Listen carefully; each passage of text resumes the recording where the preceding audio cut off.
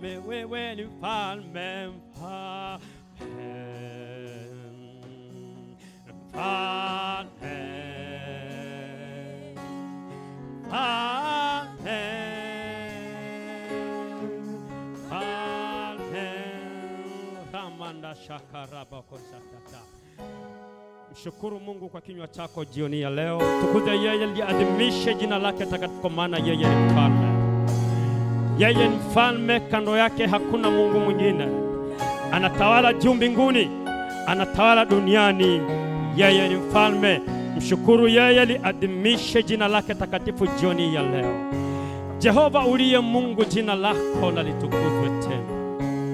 Wewe ni mfalme, kando yako hakuna mfalme mwingine. Badala yako hakutakuwako mfalme mwingine awaye yeyote. Haya ni majira mengine tena, e Bwana, jioni hii ya leo umetuleta katika nyua hizi ili e Bwana upate kunena nasi. Tunakuabudu, tunakushukuru, tunakutukuza, tunaliadhimisha jina lako takatifu, kwa maana jina lako lapita majina yote. Wewe ni mfalme kwenye kiti chako cha enzi, wewe unatawala, Mungu mwenye enzi. Hakuna aliyepiga kura ya kukuweka mahala hapo, hakuna aliyekuweka kwenye kiti chako cha enzi, na hakuna wa kukuondoa kwenye kiti chako cha enzi. Wewe ni mfalme, unatawala, unatawala, unatawala. Pokea sifa za mioyo yetu. E Mungu mwenye enzi, pokea sifa za mioyo yetu tena kwa majira haya mengine ambayo yamekupendeza, nawe umetupa neema, umetupa kibali cha kuja katika nyua hizi, e Bwana, kwa kusudi moja, upate kunena nasi, nasi tumekuja ili tupate kukuabudu. Tunakuabudu, tunakushukuru, tunakutukuza, tunaliadhimisha mno jina lako takatifu, kwa maana wewe ni mfalme, unatawala, unatawala, unatawala. Pokea sifa za mioyo yetu, pokea sifa za mioyo yetu katika jina la uweza la Yesu Kristo, katika jina la uweza la Yesu Kristo, amen. Mpe Bwana Yesu makofi mengi na jioni ya leo. Haleluya, haleluya. Ninakusalimu katika jina la Bwana Yesu. Nikupe ongera nyingi kwa wewe ambaye umeweza kufika katika nyua za Mungu jioni hii ya leo, pamoja na changamoto kubwa ya mvua, lakini Mungu amekuleta umbali huu ili apate kunena nawe. Amekuleta umbali huu, anayo sababu ni kwa nini amekuleta katika nyua hizi jioni hii ya leo. Haleluya! Nikukaribishe na wewe ambaye unaungana nasi kupitia kamera hizi, karibu ENCC mji wa Bwana Mbezi kwa Msuguri, mahala ambapo mabaya hayaruhusi kuharibu. Amini pamoja nami ya kwamba yale Mungu ambayo anayatenda katika madhabahu hii, umbali wowote ulipo, mkono wake sio mfupi, utakugusa huko na wewe utayapokea majawabu ya yale ambayo ni shauku ya moyo wako jioni hii ya leo. Haleluya! Bwana Yesu asifiwe. Karibu tena katika ibada ya uponyaji na ukombozi jioni hii ya leo. Ni majira mengine ambayo Mungu ameyaratibisha nayo yameratibika vyema, ndio maana uko mahala hapa. Najua adui alikusudia mengi, amekusudia kukuzuilia usija mahala hapa, lakini uko mahala hapa, ni kusudi la Mungu mwenyewe uwepo hapa, na amini ya kwamba yale yaliyo shauku ya moyo wako jioni ya leo Mungu anakwenda kukutendea. Haleluya! Nami nimesimama kama chombo tu nywani mwake, acha yeye anitumie kwa jinsi atakavyo yeye. Bwana Yesu asifiwe. Na jioni hii ya leo nitanena nawe ujumbe unaosema Goliati wangu ameanguka na mimi nimeokoka. Haleluya! Goliati wako ameanguka na wewe umeokoka. Najua Goliati, Goliati jioni ya leo tutamtumia kama mfano au kama kiwakilishi cha aina nyingi za Goliati ambazo zinatesa watu walio wengi, watu wa Mungu. Bwana Yesu asifiwe. Najua wateule wa Mungu, kila mtu ana vita yake na kila mtu ana gereza ambalo limemfungia. Ndio maana Mungu kwa kuyajua hayo aliachilia hii kalenda na ratiba ya uponyaji na ukombozi. Ukombozi ni kukombolewa kutoka mahala ambapo umeshikiliwa, na akiisha kukukomboa anaachilia uponyaji juu yako. Haleluya! Haya ndio majira, na kama ndio majira, Mungu ananena ya kwamba kila Goliati aliyeinuka na kila Goliati aliyedhihaki Mungu wako, jioni ya leo ndio ukomo wake. Jioni ya leo ndio ukomo wake kupitia madhabahu hii. Anapokwenda kunena nawe, amini ya kwamba anakwenda kuangamiza kila aina ya Goliati unayemjua wewe. Goliati wako awe ni ugonjwa, iwe ni uchumi, iwe ni watoto wako wameshikiliwa fahamu zao, huyo ni Goliati upande wako. Jioni ya leo Mungu anakwenda kumwangamiza. Haleluya! Fungua pamoja nami kitabu cha Samueli wa kwanza sura ile ya kumi na saba mstari wa kwanza mpaka ule wa kumi na moja. Samueli wa kwanza sura ya kumi na saba mstari wa kwanza mpaka ule wa kumi na moja. Tuangalie maneno ya Mungu kwa kifupi hapo. Wakati huo Wafilisti walikusanya majeshi yao kwa vita, nao wakakusanyika huko Soko ulio mji wa Yuda, wakatua kati ya Soko na Azeka katika Efes Damimu. Naye Sauli na watu wa, na watu wa Israeli wakakusanyika. Wakatua katika bonde la Ela, nao wakapanga vita juu ya hao Wafilisti. Wafilisti wakasimama juu ya mlima upande huu na Waisraeli wakasimama juu ya mlima upande huu, napo palikuwa na hilo bonde katikati. Ndipo akatoka shujaa katika kambi ya Wafilisti aliyeitwa Goliati wa Gathi, ambaye urefu wake ulikuwa mikono sita na shibiri moja. Alikuwa na chepeo ya shaba kichwani, tena amevaa darii ya shaba, na uzani wake ile dirii ya shaba ulikuwa shekeli elfu tano za shaba. Hili ni jitu ambalo linatisha. Yaani nakusomea hivi unajua kwamba huyo Goliati jinsi ambavyo sifa zake tu huyo mtu mwenyewe alivyokuwa mwenyewe, ukimwangalia tu anatisha, lakini Mungu wetu ni zaidi ya Goliati. Haleluya! Tena amevaa mabamba ya shaba miguuni mwake, naye alikuwa na mkuki wa shaba kati ya mabega yake, na mti wa fumo lake ulikuwa kama mti wa mfumaji, na kichwa cha mkuki wake kilikuwa shekeli mia sita za chuma uzito wake. Na mtu aliyemchukulia ngao yake akamtangulia, naye akasimama akawa, akawapigia kelele majeshi ya Israeli akawaambia, mbona mmetoka kupanga vita? Je, mimi si Mfilisti na ninyi si watumishi wa Sauli? Jichagulieni mtu akanishukie mimi, kama akiweza kupigana nami na kuniua, sisi tutakuwa watumwa wenu, nami nikimshinda yeye na kumuua, ninyi mtakuwa watumwa wetu wa wa kututumikia. Yule Mfilisti akasema, na yatukana leo majeshi ya Israeli, nipeni mtu tupigane. Mstari wa kumi na moja. Basi Sauli na Israeli wote waliposikia maneno hayo ya Mfilisti wakafadhaika na kuogopa sana. Haleluya! Hayo ni maneno ya mtu ambaye ameenda juu, na ukiangalia mkono wake wenyewe unatisha, na anasimama mbele ya majeshi ya Waisraeli, anamwambia nichagulieni mtu wa kupigana na mimi, na kama akinishinda mimi nitawatumikia, na ninyi nikiwashinda mtanitumikia mimi. Haleluya! Wakati Mfilisti huyu anajigamba kwa maneno yake haya, hakujua ukuu wa Mungu ambaye wana wa Israeli wanamtumikia. Walijua kabisa ya kwamba kwa ukubwa wake yeye alitosha kuwazuilia wasiende mahala.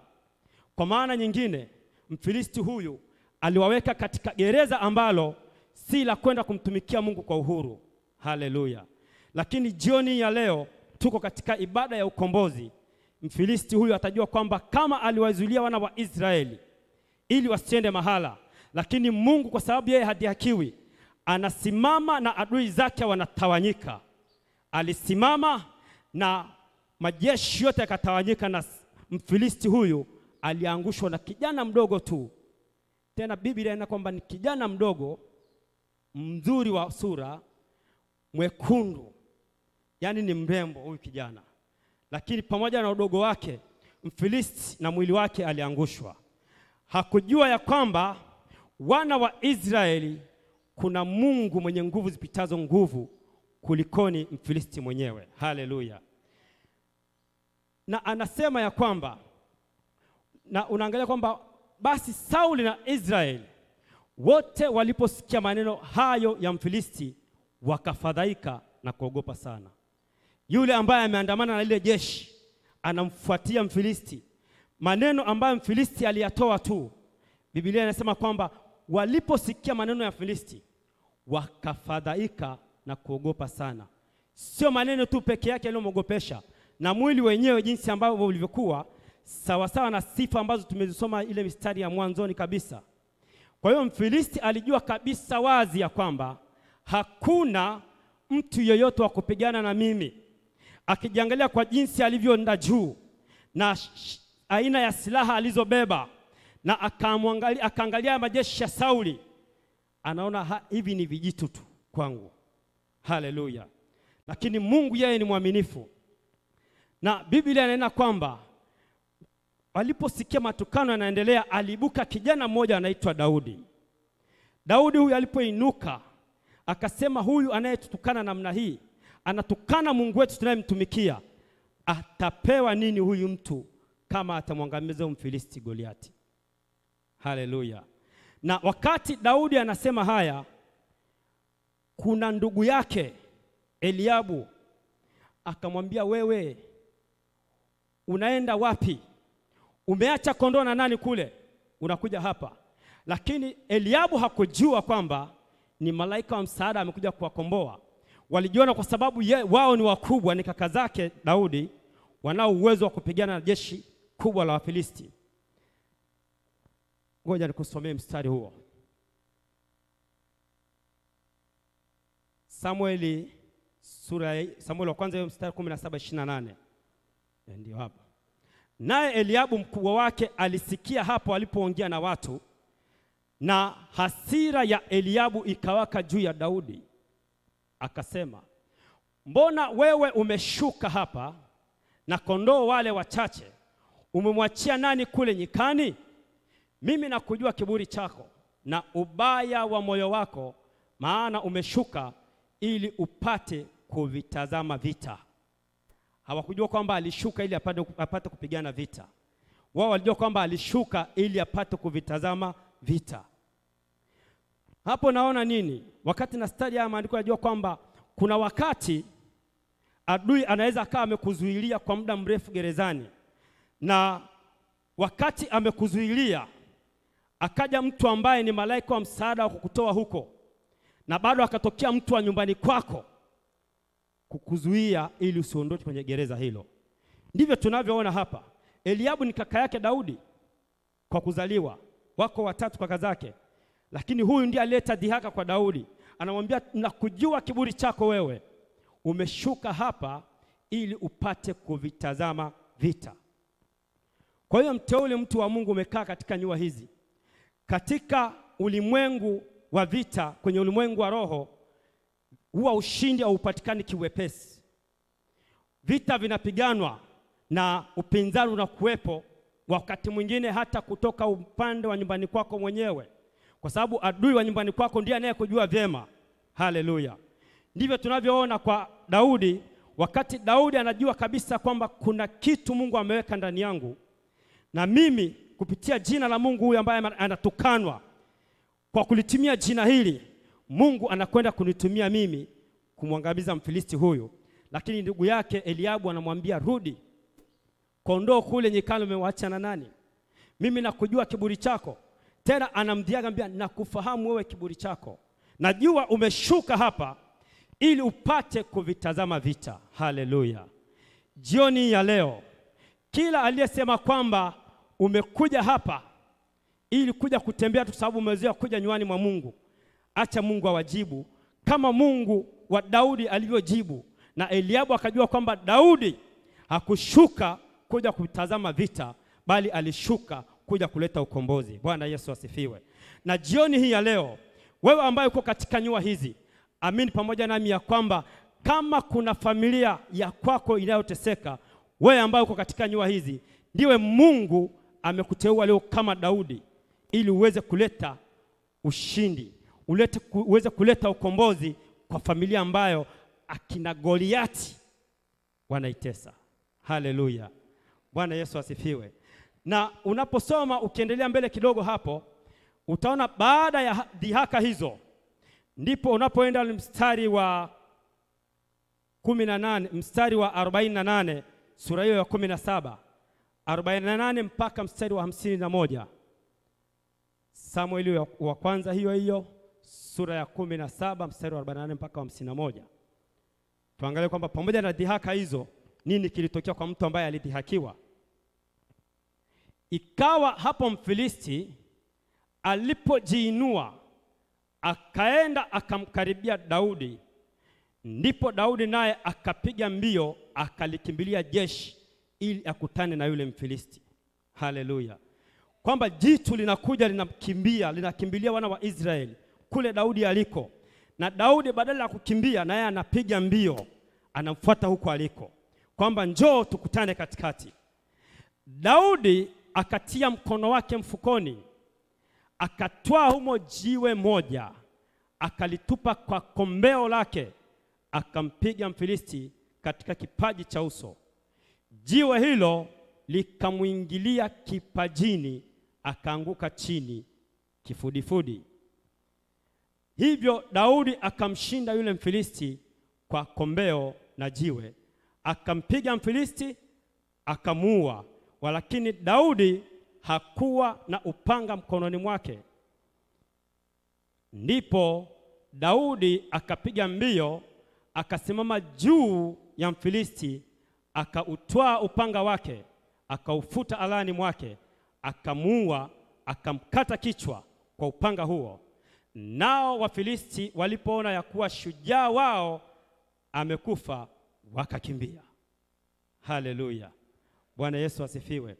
Huyu ndiye Mungu ambaye jioni ya leo tumekimbilia madhabahuni pake, ya kwamba kuna adui anaweza akainuka katika maisha yako na akaona kama ana uwezo wa kukuzidi nguvu kwa jinsi ya macho ya damu na nyama, lakini kwa mtu ambaye anamwamini Mungu na anamtumainia Mungu aliye Jehova, anajua majawabu ya kweli yanatoka kwa Mungu, na anajua kabisa wazi kabisa kwamba vita vyetu si juu ya damu na nyama, si jinsi ya mwili.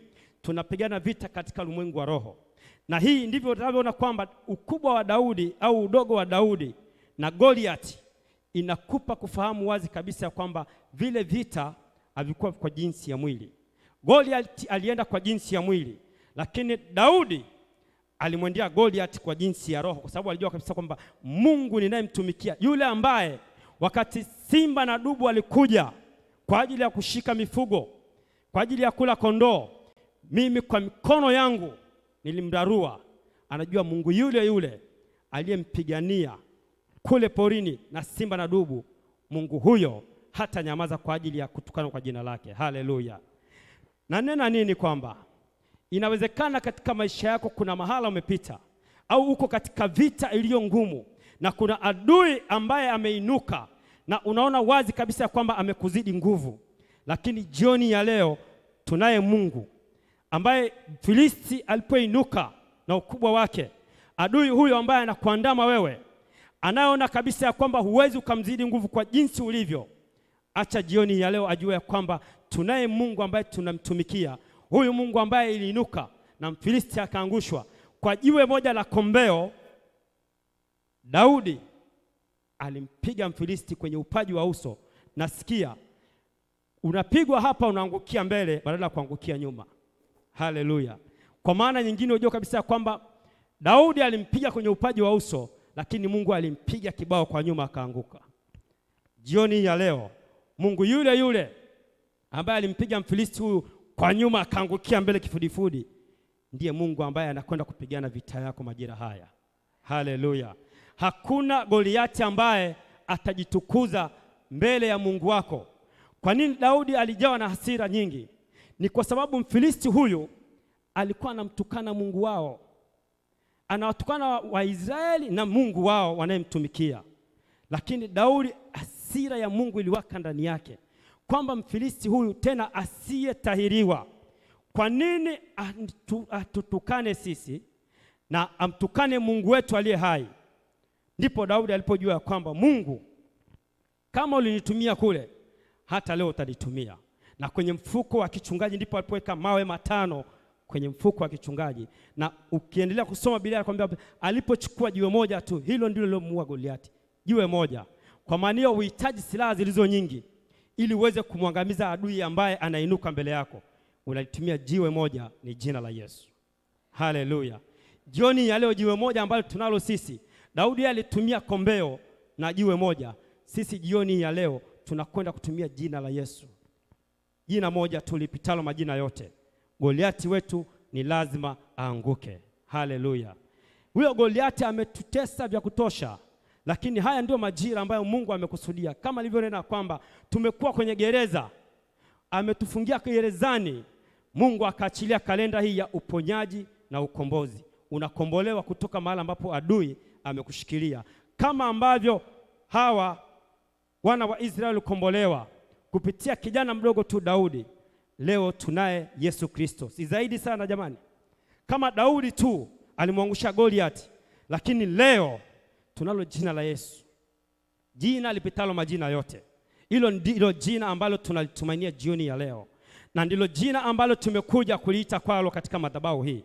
Ni hakika ya kwamba Mungu wetu hata nyamaza. Kila Goliati aliyeinuka leo kuanguka ni lazima aanguke. Haleluya, haleluya. Na tuliposema mstari ule wa nyuma, anakuambia kabisa, baada ya kuwaona wale wa adui wanakuja, kuona Mfilisti anakuja, walikimbia. Sisi hatuna sababu ya kukimbia. Sisi hatutakimbia kwa sababu tunaye Mungu ambaye tunamtumainia. Wao walikimbia kwa sababu hawakujua kwamba kuna majawabu ambayo wako nayo katikati yao.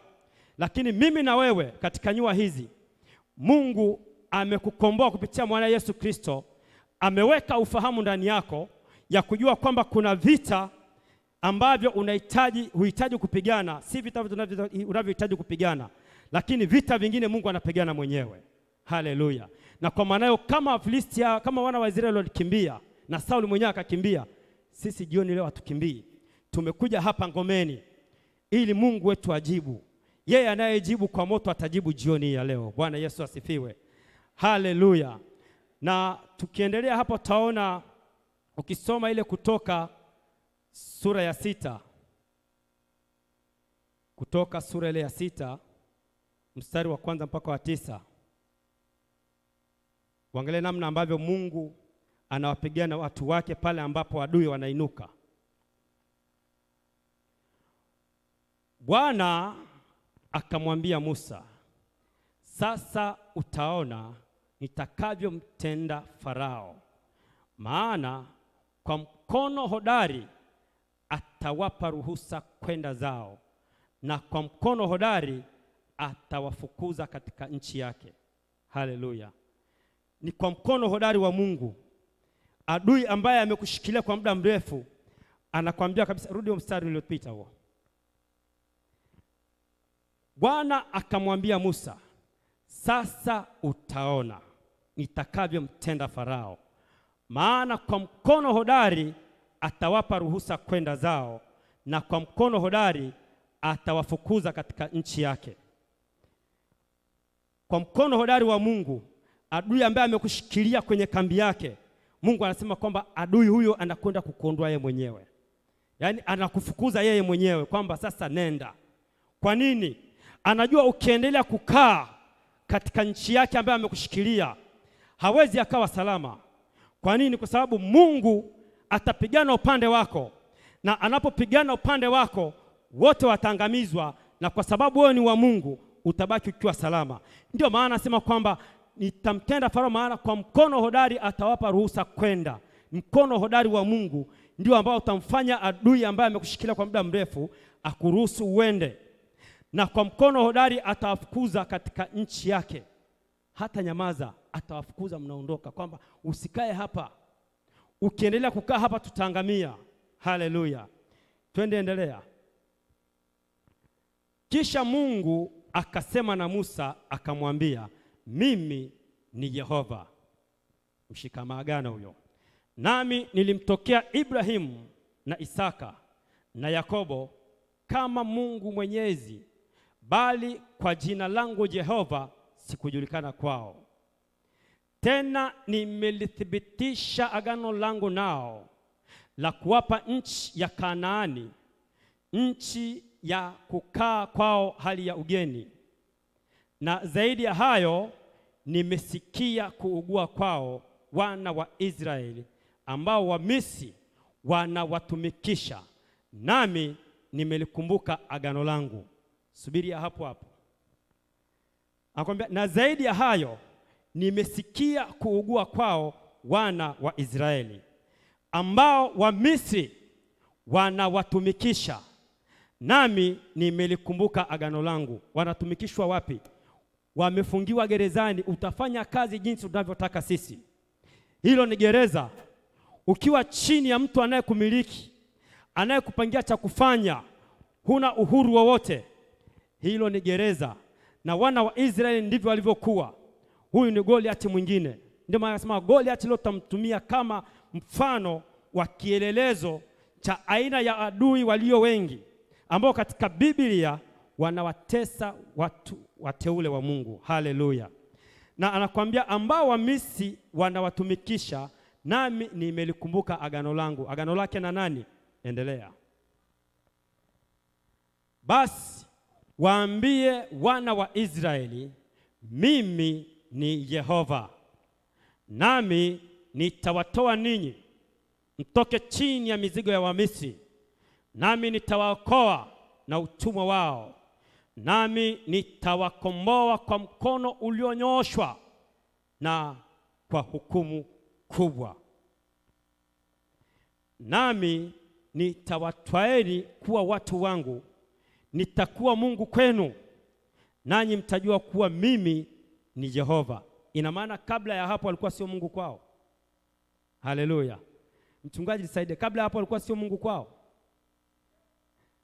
anakwambia nitakuwa Mungu kwenu nanyi mtajua ya kuwa mimi ni Jehova. Kwa maana ya kwamba kabla ya hapo Mungu alijulikana kwa baba zao kama Mungu Mwenyezi, lakini sasa watamjua yeye kama Mungu Jehova, kwa maana Jehova ni Mungu ashikaye maagano. Ndio maana hata kubali waendelee kuteswa kutokea huko walikotumikishwa, kama baba zao walimjua Mungu huyu kama Mungu Mwenyezi lakini sasa anakwambia kwenu nyinyi mtanijua mimi kama Mungu Jehova, ambaye ni Mungu ashikaye maagano Jehova. Nakwambia Mungu wenu ni watowae mtoke chini ya mizigo ya Wamisri, kwamba mkiisha kunijua mimi kama Mungu Jehova, siishii hapo.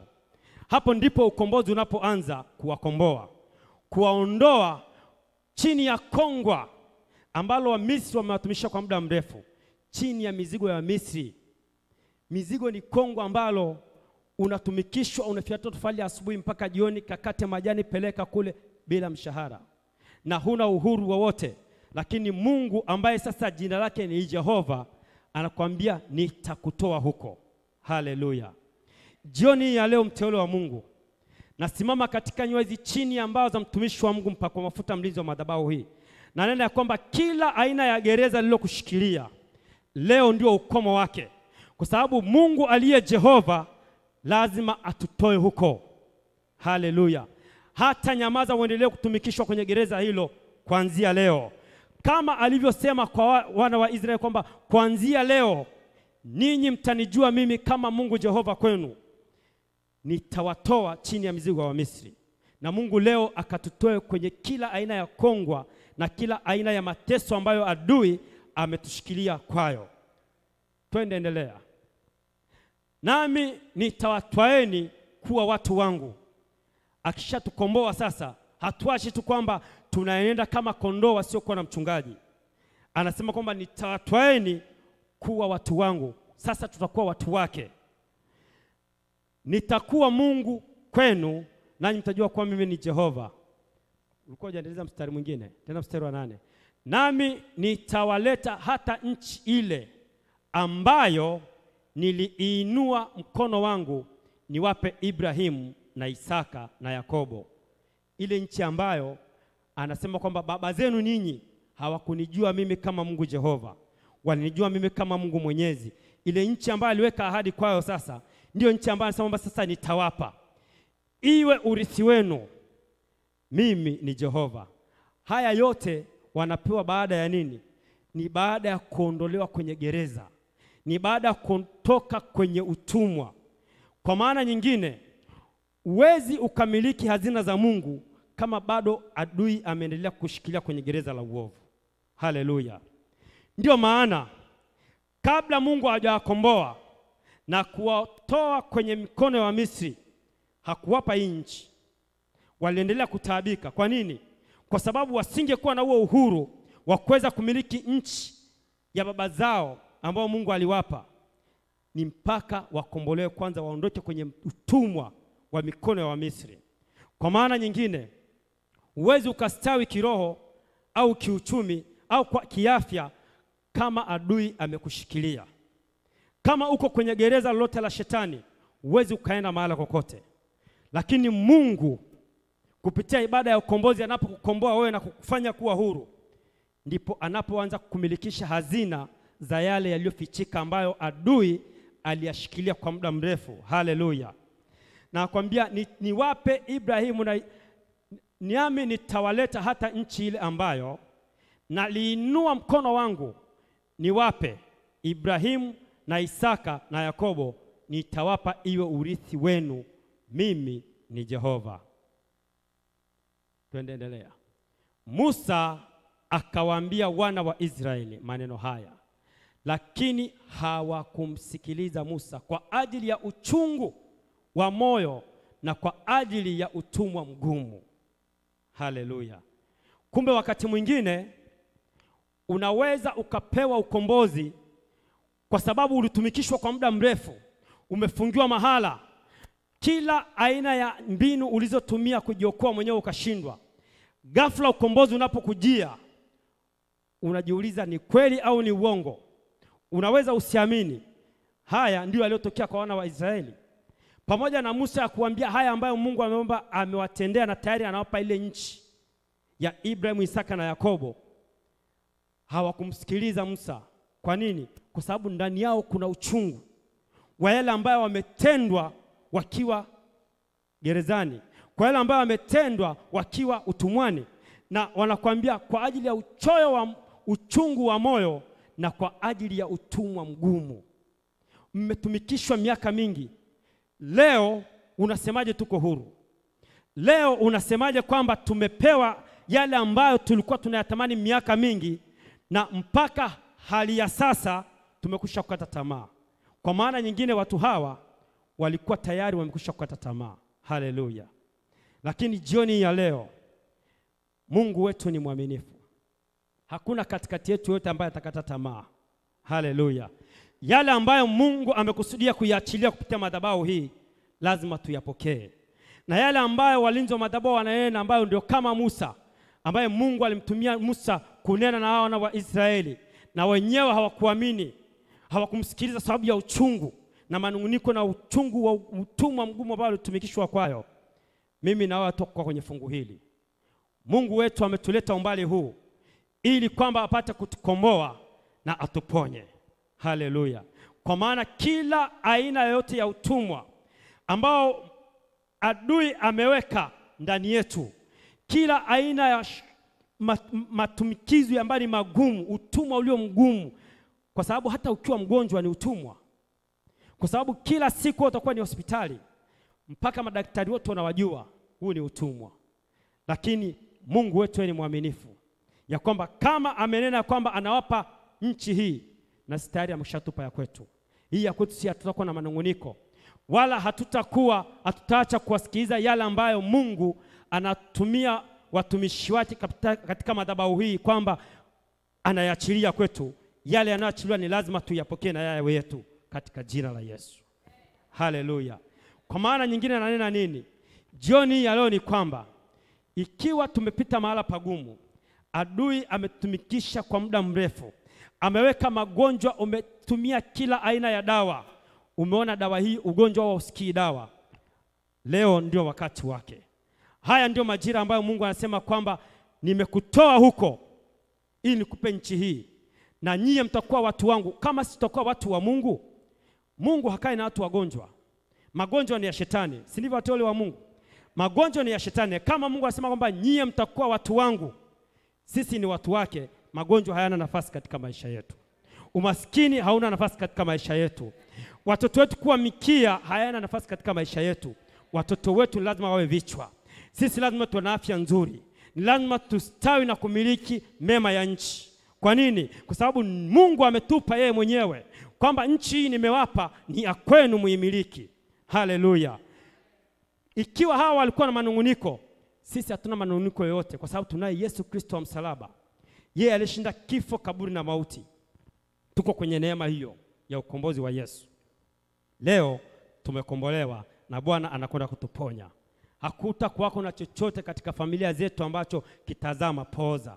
Kwa nini? Kwa sababu Mungu wetu yeye ni Mungu, amesema nyinyi mtakuwa watu wangu kuanzia leo, na mimi nitakuwa Mungu wenu, na nitakuwa sio Mungu mwenyezi kwenu, nitakuwa Mungu Jehova. Mungu Jehova ni Mungu ashikaye maagano, na Mungu wetu si dhalimu. Yale anayonena ni lazima ayatimize, kwa maana Biblia inena wazi ya kwamba analiangalia neno lake ili apate kulitimiza, na kama analiangalia neno lake, hili nalo ni neno lake, lazima alitimize. Sisi tulio wake, magonjwa sio sehemu yetu. Haleluya, Bwana Yesu asifiwe. Kwa hiyo huyu ni aina ya Goliati ambaye ali- alizuia tu kwamba wasiende mbele kumtumikia Mungu wao, na hata sisi kuna ambaye Goliati wa namna hii ambaye wanazuia wateule wa Mungu washindwe kumtumikia Mungu kwa uhuru ambao wanatakiwa, kwa sababu ukiwa na udhaifu wa afya huwezi kuja hata kanisani.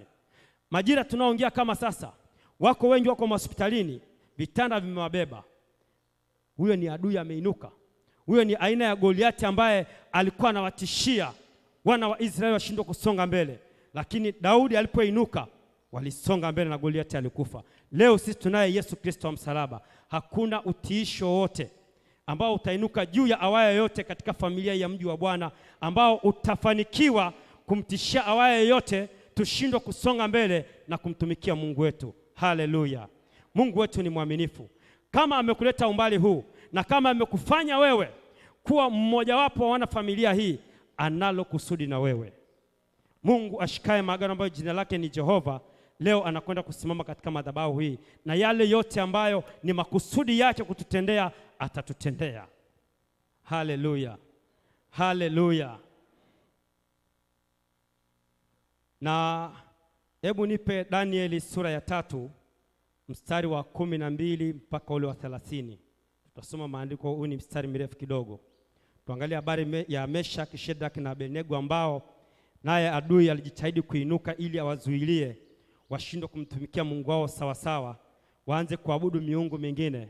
Lakini Mungu na atukuzwe kwamba aliwapa kila iliyo neema, kwa sababu alijua Mungu, aina ya Mungu anayemtumikia kwamba ni Mungu asiyeshindwa na jambo lolote, na Nebukadneza alinyamaza kimya. Wako Wayahudi kadha wa kadha uliowaweka juu ya mambo ya wilaya ya Babeli, yaani Shadrach, na Meshaki na Abednego, watu hawa, e mfalme, hawakukujali wewe, hawaitumikii miungu yako. Angalia ile miungu iko kwa herufi ndogo, onyesha kwamba ni miungu, sio Mungu Jehova, na wala kuiabudu ile sanamu ya dhahabu ulioisimamisha. Basi Nebukadreza akatoa amri kwa hasira na ghadhabu, waletwe hao shedrak na meshak na Abednego. Basi wakawaleta watu hao mbele ya mfalme.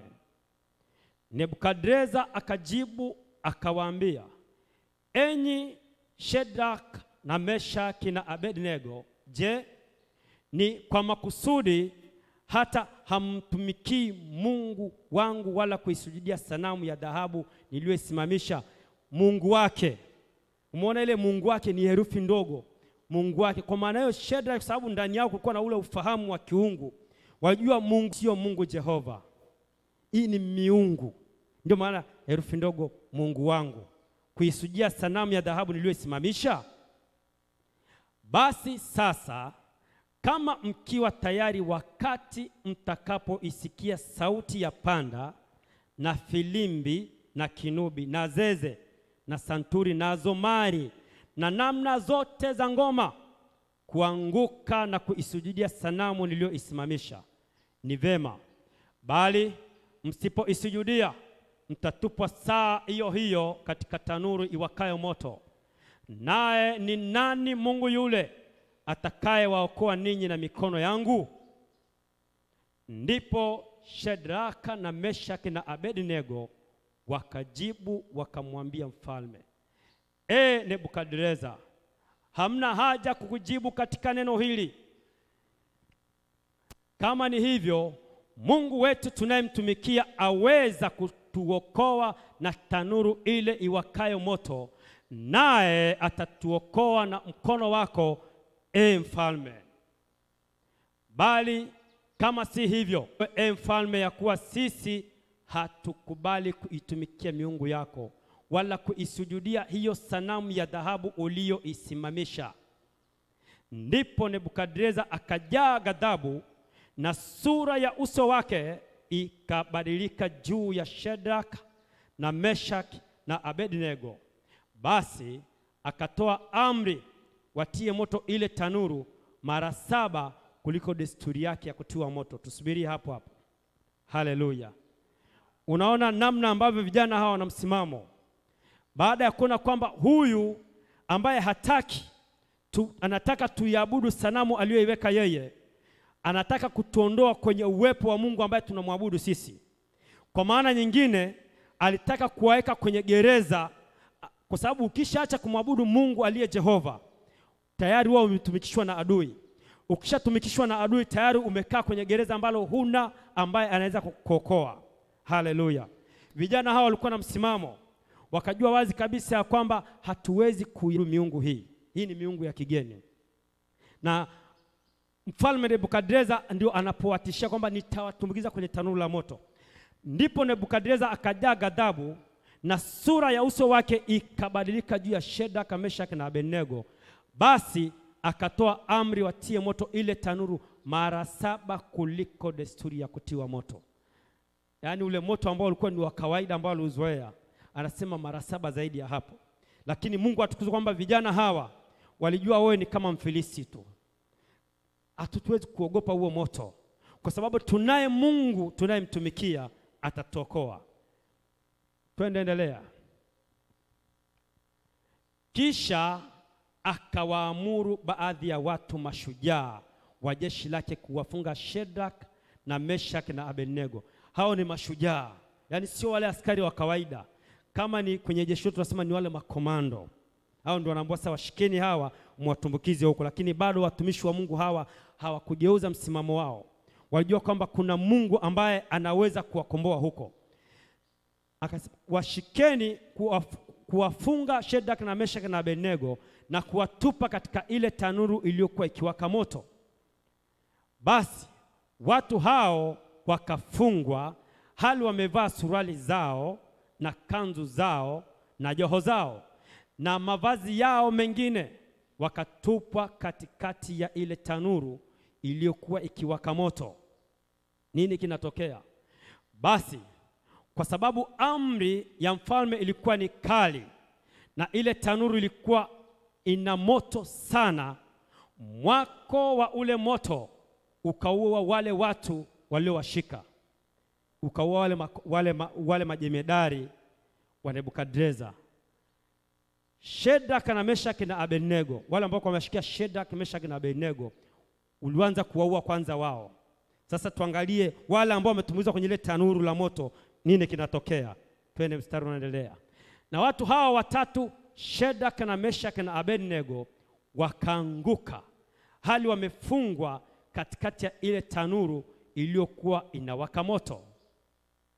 Ndipo Nebukadreza akastaajabu, akainuka kwa haraka, akanena, akawaambia mawaziri wake, je, hatukutupa watu watatu hali wamefungwa katikati ya moto?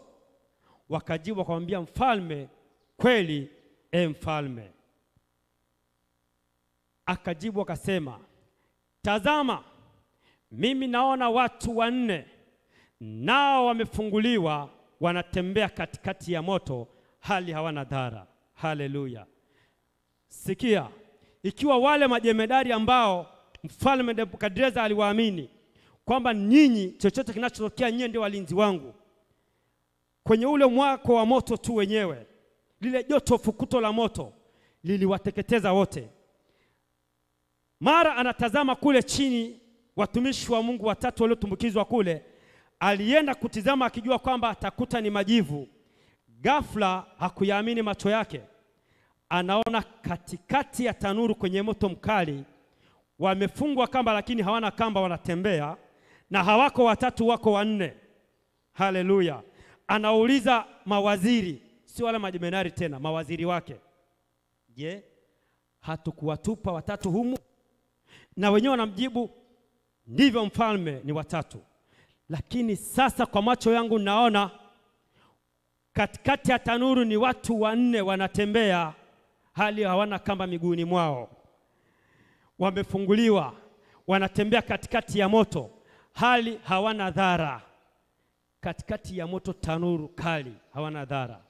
Huyo ndiye Mungu ambaye tunamtumikia, kwamba adui anaweza kukuwekea kila aina ya mtego, anaweza kuletea kila aina ya mateso ambayo anafikiri kwamba mateso haya huwezi ukainuka, lakini Mungu unayemtumikia kama umeshikamana naye vyema, amini ya kwamba hakuna chochote cha adui ambacho kinaweza ikafanya kazi juu yako. Kwa nini? Kama moto huu ambao ulitiwa moto zaidi ya mara saba ya kawaida yake haukuwaunguza wateule watumishi wa Mungu ambao walimtumaini Mungu, lakini ule mwali wa moto tu, lile fukuto liliwaunguza wale majemedari wa mfalme ambao waliinuka ili kuwatenda madhara watumishi wa Mungu. Watumishi wake walikuwa salama. Huyo mtu wa nne anaonekana, na sisi leo tunaye mtu wa nne, Yesu Kristo wa msalaba. Kama adui anakutumbukiza kwenye tanuru la moto na anafikiria kwamba unateketea, mtu wa nne Yesu Kristo anakuja na yeye anatumbukia humo, anakwenda kukuokoa kama ambavyo ameokoa Meshaki, Shadraka na Abednego. Haleluya! na anasema ya kwamba na sura yake yule wa nne ni mfano wa miungu. Ilitakiwa aseme ni mfano wa Mungu kwa, lakini kwa sababu yeye anaamini sana miungu akasema ni mfano wa miungu, lakini huwe ni mfano wa Mungu. Haleluya! Kisha Nebukadreza akaukaribia mdomo wa ile tanuru iliyokuwa inawaka moto, akanena akasema, enyi Shadraka na Meshaki na Abednego, watumishi wa Mungu aliye juu. Sasa ndio unajua kwamba sisi ni watumishi wa Mungu tuliye juu, aliye juu. Ingekuwa unajua hivyo tangu mwanzo, kwa nini tutumbukiza kwenye tanuru la moto? Au ni baada ya kuona habari ya matendo makuu ambayo Mungu ameyatenda? Au ni baada ya kuona kwamba moto haukutunguza sisi, bali umeanguza wanajeshi wako? Haleluya! Wako ambao wanatunga silaha kwa ajili yako wako ambao wanainua vita kwa ajili yako. Silaha hizo zinakwenda kuangamiza wao wenyewe, na kinachotokea ni nini? Hao ndio watakuja kukupigia magoti, watakwambia wewe, kumbe ndivyo ulivyo. Ndivyo mfalme Nebukadneza anasema, enyi Shedraka na Meshaki na Abednego, watumishi wa Mungu aliye juu, tokeni mje huku. Anawaita sasa, tokeni mje huku. Kwa nini usishie kwenda kuwachukua huko, wakati wewe ndio uliwapeleka huko? Ndipo Shedraka na Meshaki na Abednego wakatoka katika ule moto. Haleluya! na maamiri na manaibu na maliwali na mawaziri waliokuwa wamekusanyika pamoja, wakawaona watu hao ya kuwa ule moto ulikuwa hauna nguvu juu ya miili yao. Ha. Kuna silaha ambazo wale wanajifanya ni wachai walioenda mpaka kufika mbingu nyingine wataleta juu yako na zitafanikiwa. Kwa nini? Kwa sababu tunaye Mungu tunayemtumikia. Kama huu moto ulikuwa kwa mara saba zaidi, alijua kabisa hawa lazima wateketee, wanakataa kuniabudu mimi. Sikia, hata kwako inawezekana. Kuna ambao ulikataa kukaa kwenye kambi yao, umeokoka leo. Kuna ambao uliwakataa, wako ndugu zako ambao umekataa, wako ndugu zako wengi ambao umekataa kushirikiana nao kwenye mambo ya mitambiko na makafara mengine. Lazima wainuke kwa staili hii. Kwa nini? Kwa sababu umeasi kwenye kambi yao. Kwa nini? Kwa sababu wanapata shida kwenye kambi yao. Kwa maana wanachokifanya sasa ni kutuma silaha juu yako, lakini acha nikwambie, hata kama atatuma hizo silaha, hizo silaha zitageuka zitawala wao wenyewe. Haleluya! Kwa nini? Ndivyo ilivyotokea kwa Nebukadreza. Nebukadreza alitaka miungu yake iabudiwe, miungu ambayo sio Mungu, na hawa watumishi wa Mungu walijua kabisa kwamba huyu sio Mungu Jehova, hii ni mizimu, tena ni sanamu iliyochongwa, alafu leo tuiabudu. Walikataa kuabudu, wakijua kwamba tunaye Mungu ambaye tunamtumikia, yeye peke yake ndiye anastahili kuabudiwa. Kwa hiyo watainuka upande wako, wale ambao wamekataa. Hata rafiki zako wenyewe, kabla hujaokoka kulikuwa na, na marafiki zako wengi, lakini baada ya kuokoka wamekukimbia wote. Sasa unao rafiki wengine. Uongo kweli? Ndivyo ilivyo. Sasa wale ambao uliwakimbia, inawezekana wakati ulipokuwa rafiki yao, kuna vitu ambavyo walikuwa wananufaika navyo kutoka kwako. Leo umewakimbia, hawatanyamaza. Ni lazima watapambana kwa kila namna ambayo wanaweza wakafanya ili kukutenda madhara uweze kurudi kwenye kambi yao. Lakini acha jioni ya leo tuwatangazia kwamba kwao hatuwezi kurudi, kwa sababu Mungu tunayemtumikia madhabahuni hapa, yeye ambaye aliwaokoa Meshaki, Shadraka na Abednego atatuokoa nasi kwenye tanuru lao, atatuokoa nasi kwenye mitego yao. Haleluya! hatuwezi kurudi nyuma. Na nini kinaendelea? Akawa mawaziri waliokuwa pamoja wamekusanyika pamoja, wakaona watu hao ya kuwa ule moto ulikuwa hauna nguvu juu ya meli yao, na silaha zao zitakuwa juu na nguvu juu yetu, wala nywele za vichwa vyao hazikuteketea, hata unywele nywele tu ambayo ikipata joto kidogo inajikunja, lakini zilibaki kama zilivyo. Huyu ni Mungu wa ajabu. Wala harufu ya moto haikuwapata hata kidogo. Ina maana kule moto uliwaepuka tu, hata ile harufu ya moto kupita, anasema leo alipita kwenye kuni ambazo hazijakauka vizuri, haikuwa juu yao. Nebukadreza akanena akasema, na ahimidiwe Mungu wa Shedraka na Meshaka na Abednego. Watatupigia magoti jioni ya leo, aliyemtuma malaika wake akawaokoa watumishi wake waliomtumaini. Kumbe adui nao wanajua kwamba ukimtumaini Mungu, Mungu anatuma msaada kwa njia nyingine. Wakaligeuza neno la mfalme na kujitoa miili yao ili wasimtumikie Mungu mwingine wala kumwabudu ila Mungu wao wenyewe.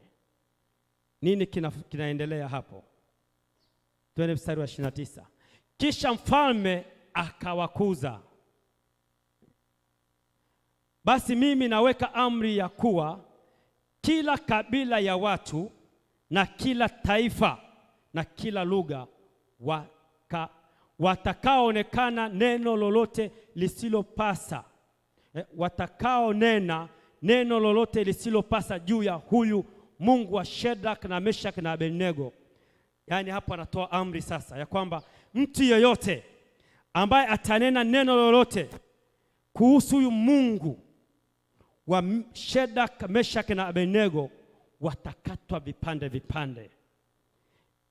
ha- ha- hapo mfalme anasema kwamba haitakiwi Mungu wako adhihakiwe tena. Ni lazima ajue kwamba Mungu wetu si Mungu wa kudhihakiwa. Kwa maana hiyo, kama wamefanya vita juu wako wameshindwa, wakirudi kwenye vikao vyao wasema kama leo tumemshindwa, Mungu wao ndio Mungu anayepaswa kuabudiwa. Kwa hiyo leo, acha adui zetu wapige magoti kwa Mungu wetu. Leo watapiga magoti kwa Mungu wetu, wajue kwamba Mungu tunayemwabudu katika roho na kweli ndiye Mungu peke yake anayestahili kuabudiwa na kutukuzwa. Akaendelea kusema watakatwa vipande vipande na nyumba zao zitafanywa jaa, kwa kuwa hakuna Mungu mwingine awezaye kuokoa namna hii. Haleluya! Hata adui zetu watajua ya kwamba hakuna Mungu mwingine awezaye kuokoa namna hii. Kwa nini? Kama wamejitahidi kutegea kila aina ya mitego, wanatega mitego kila inapoitwa leo. Sio kama wanakuja hapa umefika kiuwepesi, ni Mungu tu, neema zake anatuma malaika wa msaada wanakulinda, lakini wanatuma mitego. Ndio maana ukuta kwamba wengine leo wapo ibadani, anatendewa muujiza, kesho. Sio kama hataki kuja, na mnaanza kulizana hawa hata ule muujiza aliopokea namna ile hakuweza kuendelea kuja ibadani, adui ameinuka, ameweka mtego. Lakini nini? Mtego huo sasa unakwenda kuvunjwa. Kwa nini? Kwa sababu Mungu wetu ameinuka kwa kisasi. Ah, Kwambia hakuna Mungu mwingine awezaye kuokoa namna hii, kwa sababu Mungu wetu ndiye Mungu pekee anaweza kuokoa. Twende endelea, mstari wa 30. Kisha mfalme akawakuza Shadrach na Meshaki na Abednego katika wilaya ya Babeli. Haleluya! Kwa hiyo vile vyao ambao walikuwa hawana sasa, wao wakawa ndio juu, wametawala nchi nzima. Nyie ndio mtakuwa maliwali huku, mtakuwa wakuu wa wilaya. Meshaki, Shadraka ni kwani baada ya watumishi wa Mungu wa kusimama kwenye imani, walijua Mungu ambaye anamtumikia, sababu walimwambia baada ya mfalme kuachia kwamba nitandukiza kwenye moto, wao walimwambia "Ah, hatuna sababu ya kujibu baadaye, sio kwenda kufikiria sasa hivi tutupe kwenye huo tanuru la moto. Walijua Mungu ambaye anamtumikia, na baada ya kusimama na Mungu huyu ambaye ni Mungu ashikae maagano, ambaye hawezi akaacha mwenye haki wake akaangamia, ndipo mfalme sana anakubali kwamba huyu ndiye Mungu peke yake anayestahili kuabudiwa na kutukuzwa, na anawapandisha vyeo. Haleluya! Hivi ndivyo ilivyo. Utashangaa hata mtaani kwako anakuteua wewe, tusimamie kwenye shughuli hii bana, wakati hao hao ndio ambao walikuwa wanakupiga vita. Sio kama wanakuteua uwasimamie kwa sababu wanakupenda, ni kwa sababu wamekushindwa. Wamepigana na wewe kwenye ulimwengu wa roho ili wakuhamisha, hata pale mtaani wameshindwa. Sasa wanaona ili waweze kuwa salama, ni wewe uweze kuwasimamia wao.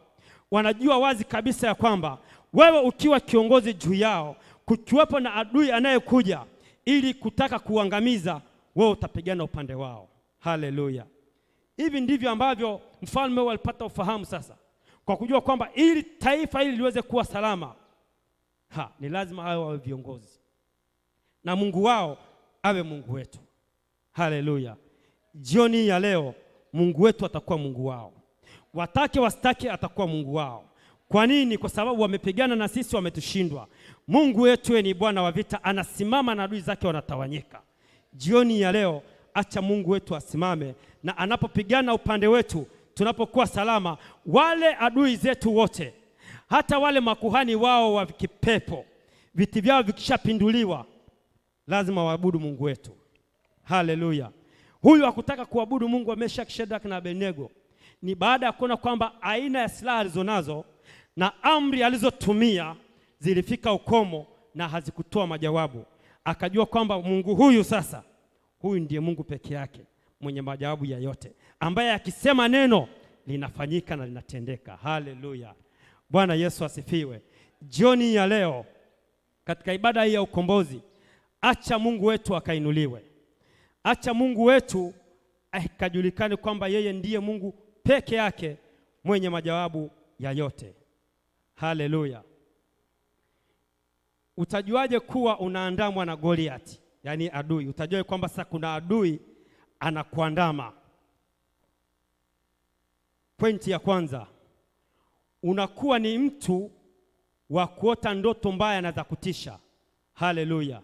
Katika ulimwengu wa ndoto zako, kuna wakati unaweza kukutana na ndoto za kutisha, yaani unakutana na mijitu au unakutana na simba kwenye ulimwengu wa ndoto zako, ujue wazi kabisa hapa kuna adui aina ya Goliath ananiandama. Haleluya!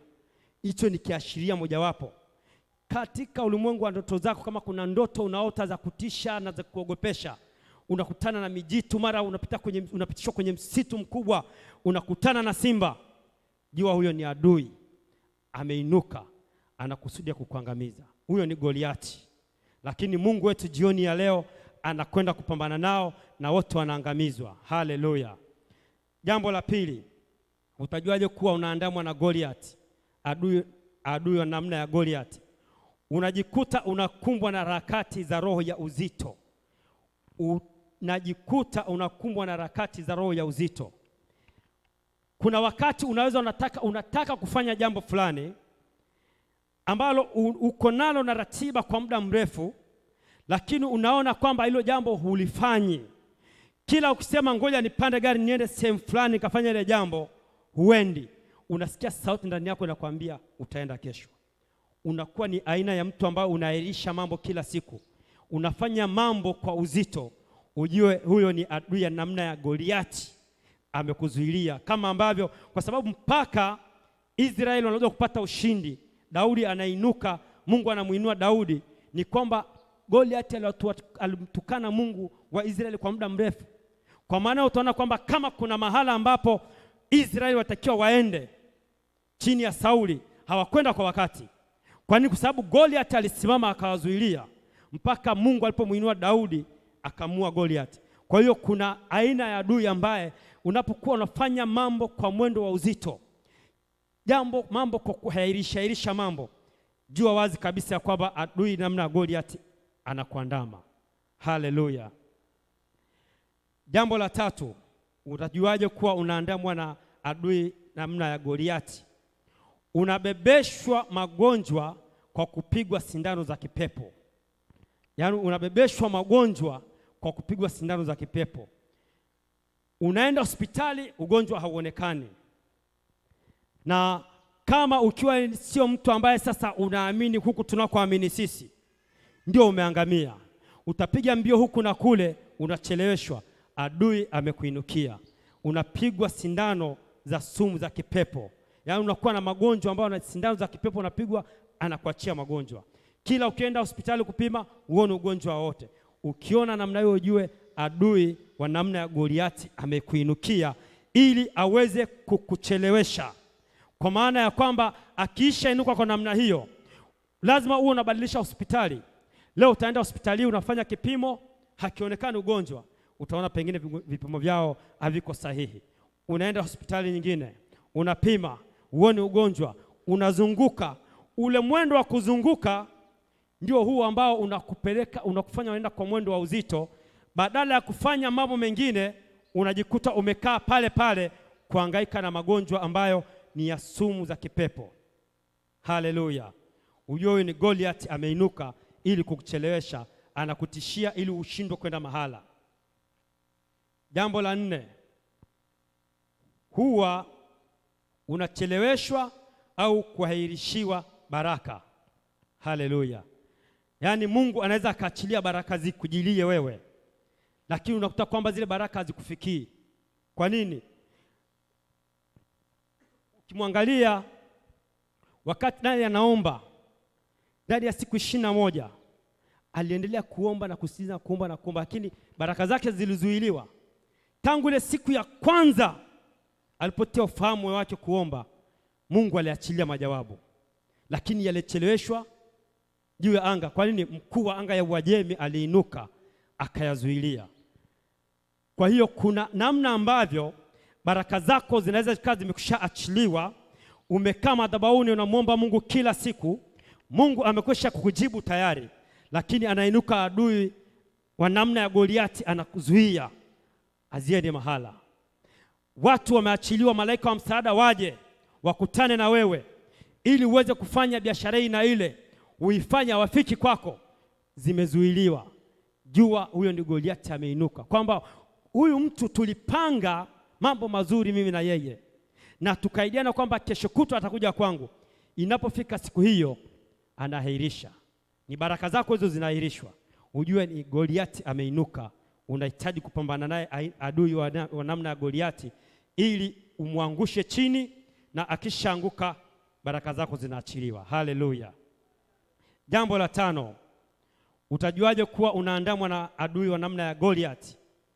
Husababisha kuharibika kwa mambo katika hatua za mwisho, yaani anakusababishia mambo yako yanaharibika katika hatua za mwisho. Umeanza mradi huu, umeanzisha biashara ile na hii, inapofika mwisho kabisa, sasa ndio unataka kufungua ile biashara, ghafla mambo yanaharibika. Unajenga nyumba hii, inafika karibu kabisa na kuwezeka, umewezeka, huko, finishing, inaungua moto. Huyo ni adui wa namna ya Goliath, anakusudia kufanya mambo yanaenda kwa uzito, kila anachokifanya hakifanikiwi. Kwa nini? Amesimama kukuzuilia, kama ambavyo alizuilia Sauli na watu wake, ili washindwe kumwabudu Mungu wao kwa wakati ambao Mungu alikusudia wa mwabudu. Kwa hiyo husababisha kuharibika kwa mambo katika hatua za mwisho. Ukiona mambo yako yanaharibika katika hatua za mwisho, mipango yako imeenda vizuri, inafika pale mwisho, tap, mambo yanaharibika. Huyo ni Goliath ameingilia kati. Unahitaji mkono wa Mungu, Mungu aweze kuingilia kati na wewe uweze kuwa salama. Haleluya. Jambo la sita, unakuwako na roho inayotilia nguvu matatizo, yaani kuna kuwako na roho inayotilia nguvu matatizo, kwamba unaweza ukawa na tatizo dogo, ugonjwa kidogo tu, unaona ni wa kawaida, ghafla unaona kila siku ule ugonjwa unaendelea, japo unatumia dawa, badala ya ugonjwa kupoa, tatizo linaongezeka. Hiyo ni roho ambayo inatilia nguvu matatizo ambayo uko nayo. Haleluya, kwamba unalo tatizo dogo, lakini sasa lile tatizo linakuwa kila anayepotea tatizo linakuwa, unaenda unakuja unaombewa, tatizo aliishi. Jua Goliath ameinuka, unahitaji kupambana na huyo Goliath ili ashindwe kutilia nguvu katika matatizo ambayo uko nayo. Haleluya. Jambo la saba, unajuaje kuwa unaandamwa na Goliath? Unakuwa ni mtu unayeishi unakuwa na, ni mtu anayeishi akimsifia shetani zaidi kuliko Mungu. Yaani unaishi ukimtukuza shetani zaidi kuliko Mungu. Kila ukikaa unaona ah, huyu Mungu wangu ana uwezo kuzishinda huyu kweli. Ukiona umefika kwenye hali kama hiyo, ujue wazi kabisa ya kwamba Goliathi wako ameinuka. Unaishi ukimsifia shetani zaidi kuliko Mungu. Namaanisha nini hapa? Mtu unaweza kawa ni mgonjwa au una tatizo lolote ulilonalo, unaanza kuliabudu lile, tatizo unaliona ni kubwa kuliko ni Mungu uliye naye. Ukishafikia hatua ya kuona tatizo lako lilonalo ni likubwa kuliko Mungu ulionaye, ujue tayari unaanza kumsifia adui kuliko Mungu ulio naye. Haleluya! Unahitaji kuona wazi kabisa ya kwamba tatizo lilonalo ni lidogo kuliko Mungu wako uliye naye. Mungu wako ni mkubwa kuliko tatizo lilonalo, lakini ukianza kuliogopa tatizo, tayari umekusha umeanza kuwa na mashaka na Mungu uliye naye. Kwa maana nyingine, umeanza kumsifia shetani kuliko Mungu ambaye unamtumainia. Bwana Yesu asifiwe.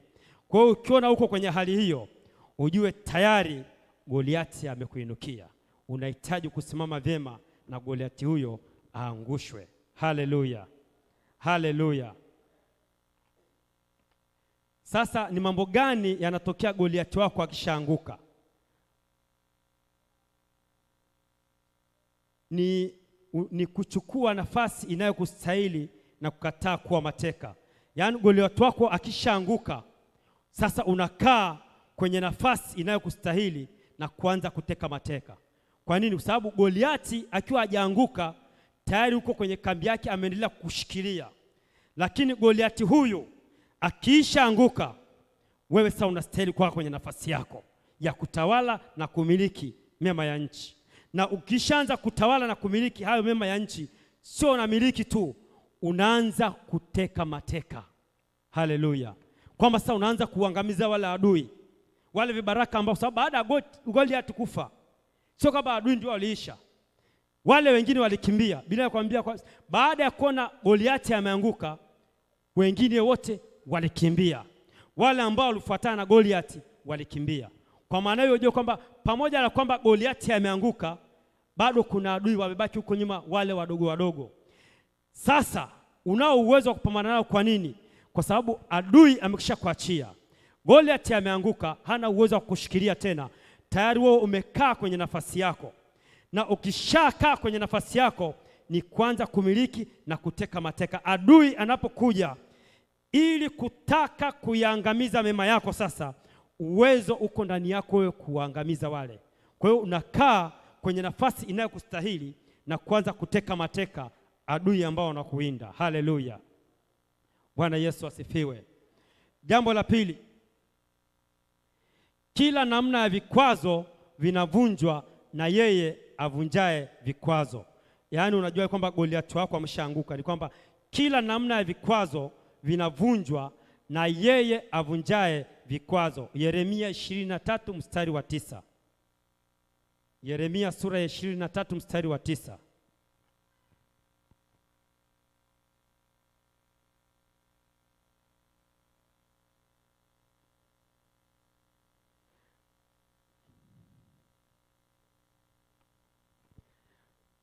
Katika habari za manabii, moyo wangu ndani yangu umevunjika, mifupa yangu yote inatikisika. Nimekuwa kama mtu aliye mlevi na kama mtu aliyeshindwa na divai. Hebu endelea. Maana nchi imejaa wazinzi kwa sababu ya kuwapa, kuwapa nchi inaomboleza, malisho ya nyikani yamekauka, mwenendo wao ni mbaya na nguvu zao si za haki. Haleluya! Maana manabii na kuhani wote wawili wanakufuru, naam, katika nyumba yangu nimeuona uovu wao, asema Bwana. Kwa hiyo wakishaanguka, Bwana anapoona uovu wao, yeye avunjaye vikwazo anawaangamiza kwa sababu ameshaona uovu wao. Mungu akishaanza kuona uovu wa wale wanaokutesa, anavunja yeye mwenyewe vile vikwazo. Kwa nini? Kwa sababu yule ambaye alikuwa anazuia visionekane amekwisha kuangushwa. Bwana Yesu asifiwe, haleluya. Jambo la tatu, ni zamu yako kuwa na kicheko na kunyamazisha kila sauti za dhihaka. Yaani Goliati wako akishaanguka, ni zamu yako wewe sasa kuwa na kicheko na kunyamazisha kila sauti za dhihaka. Samueli wa kwanza sura ya pili mstari wa kwanza mpaka ule wa kumi. Tupe tusome hapo. Unakuwa na kicheko sasa, kwa sababu adui zako tayari wameshaangushwa. Samueli wa kwanza eh, Samueli wa kwanza sura ya pili mstari wa kwanza mpaka ule wa kumi. Naye Hana akaomba akasema, moyo wangu wamshangilia Bwana, pembe yangu imetukuka katika Bwana, kinywa changu kimemanuka juu ya adui zangu,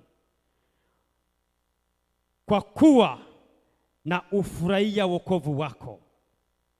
Hakuna aliye mtakatifu kama Bwana, kwa maana hakuna yeyote ila wewe, wala hakuna mwamba kama Mungu wetu.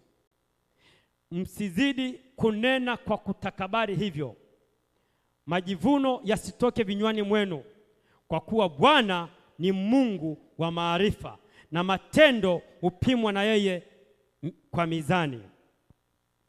Pinde zao mashujaa zimevunjika, na hao waliojikwaa wamefungiwa, wamefungiwa nguvu.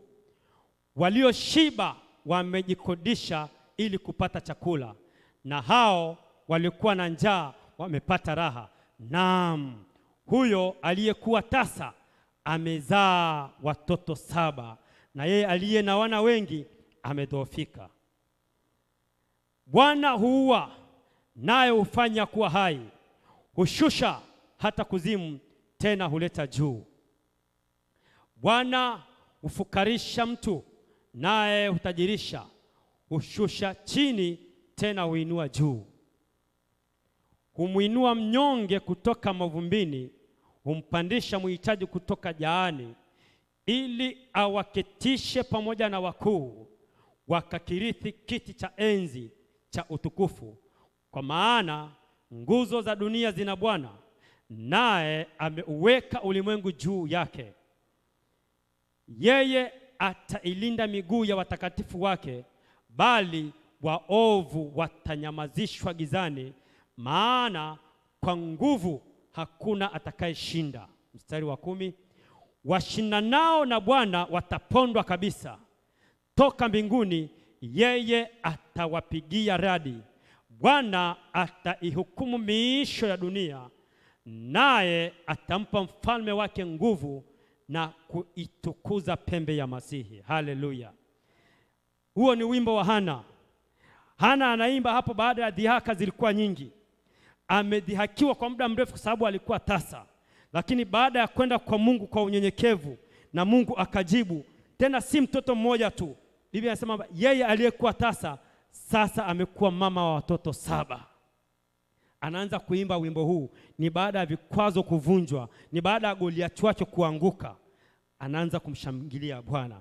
Kwa hiyo Goliati wako akishaanguka, unakuwa ni mtu wa unakuwa ni zamu yako sasa kuwa na kicheko na kunyamazisha kila sauti za dhihaka. Sauti za dhihaka zinanyamazishwa hapo mwisho, akwambia washindanao na Bwana watapondwa kabisa.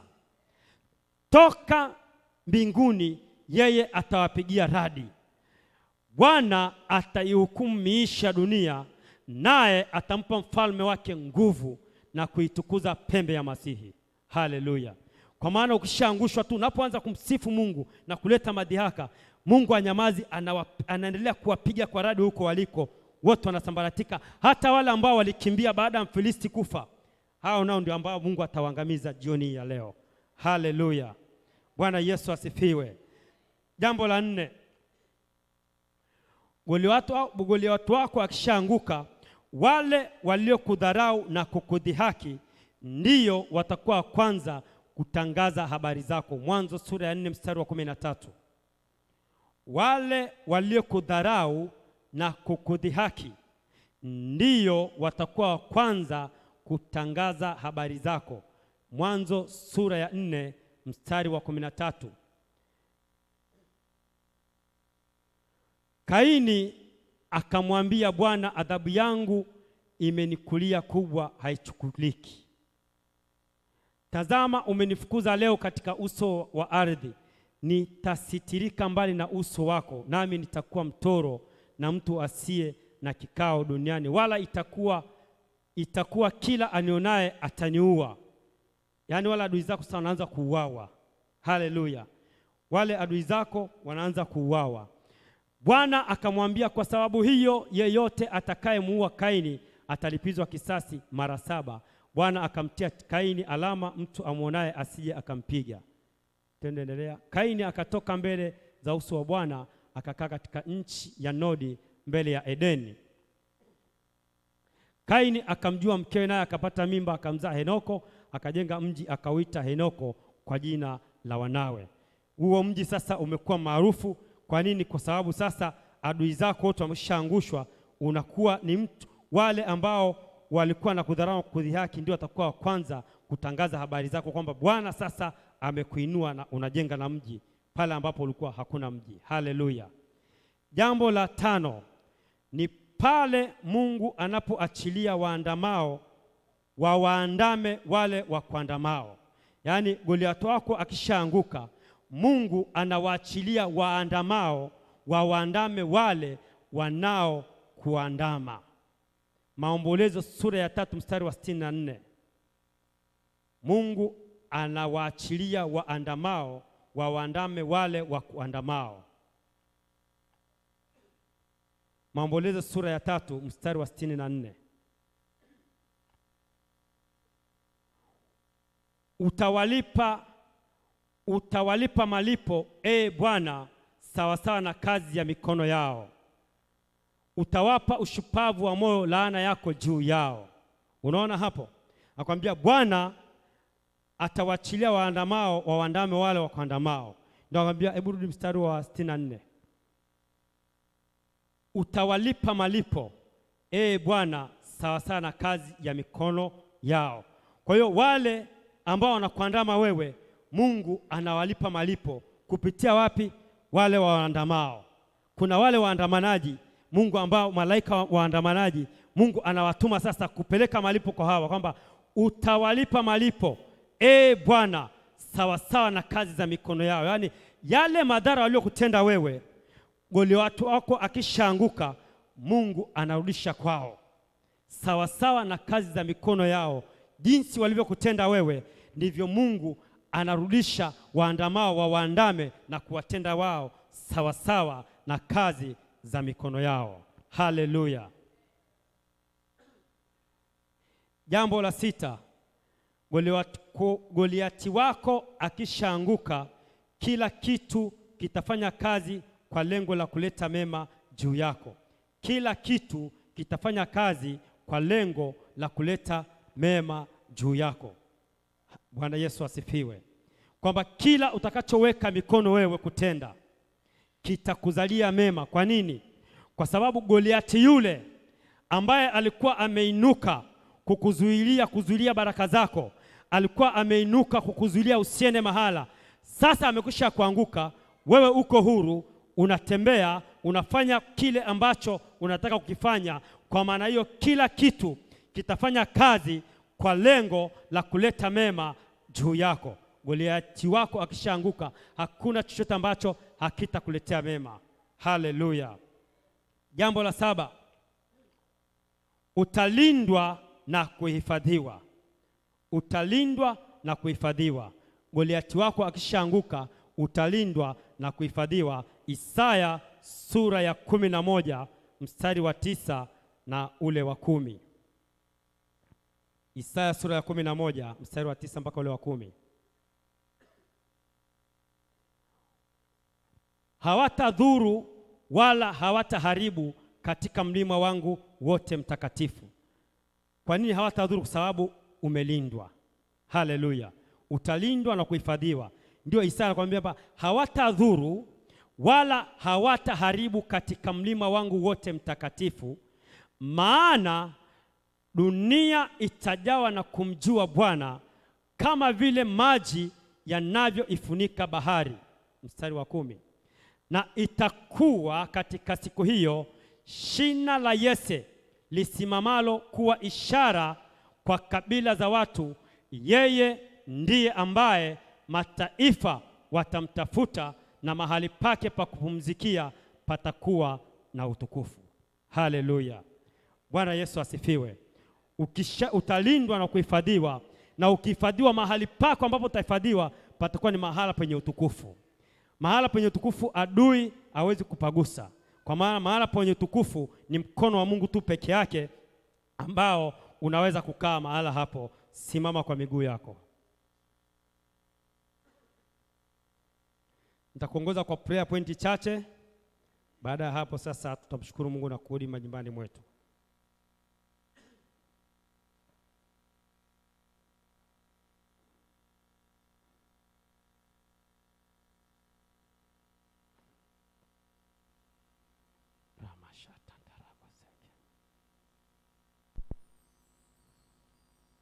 Wastahili sifa za moyo wangu. Na kuabudu, uliniumba ni kuabudu. Na kuabudu, e Mungu wangu na kuabudu. Oh, we Yesu wastahili sifa za moyo wangu na kuabudu, uliniumba ni kuabudu na kuabudu na kuabudu e Mungu wangu na kuabudu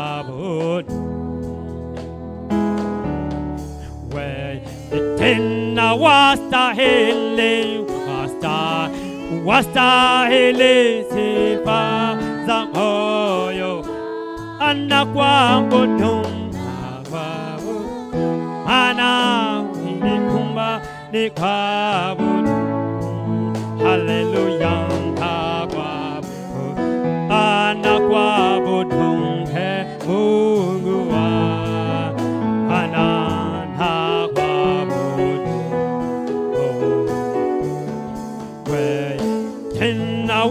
wastahili wasta wastahili sifa za moyo. Anakuabudu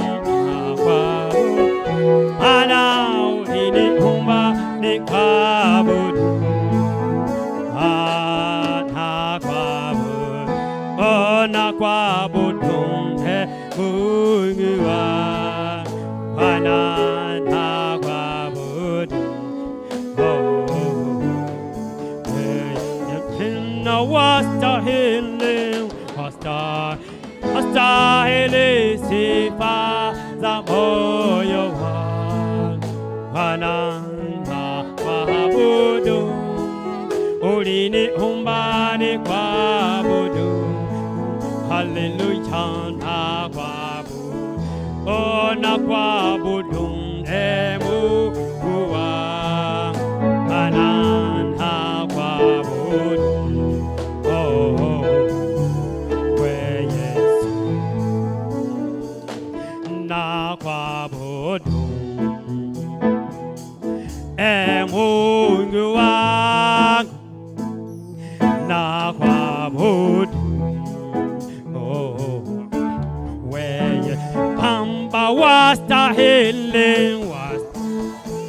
wastahili sifa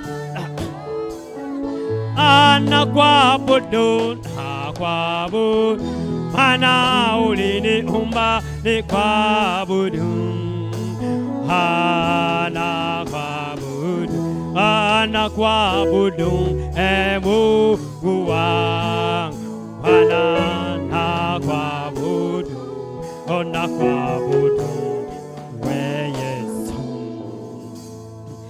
Simama mwenyewe Bwana, simama mwenyewe Bwana, ah, simama mwenyewe Bwana, ah, shuka ututetee.